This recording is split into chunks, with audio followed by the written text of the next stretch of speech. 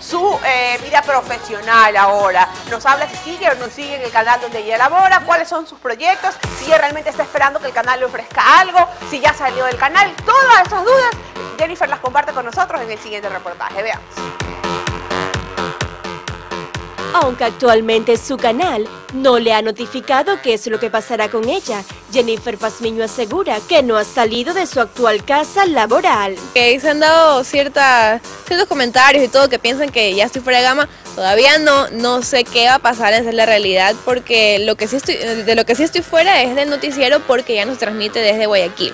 Obviamente yo vivo aquí, no me voy a ir a vivir a Quito, entonces el segmento ya obviamente no, no sale pero eh, el canal está viendo si todavía si se reubica el segmento, que es de farándula, y se lo pone en otro lado, o si es un nuevo proyecto, lo que sea, y si pues no se llega a nada, entonces en ese caso, no sé, pues tendrán que decir ellos si me quieren o no me quieren.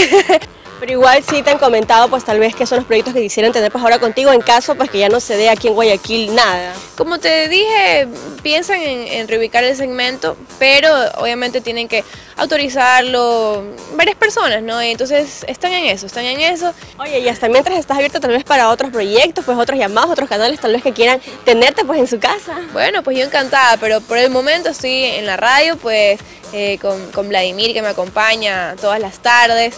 Y pasamos chévere, ¿no? Pasamos ahí eh, comentando los dos, notas curiosas, poniendo la mejor música, peleando un poquito por la música porque él quiere una y yo quiero otra.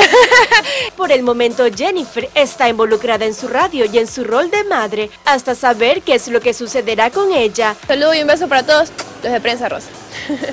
María de Lourdes Aguilar, Prensa Rosa.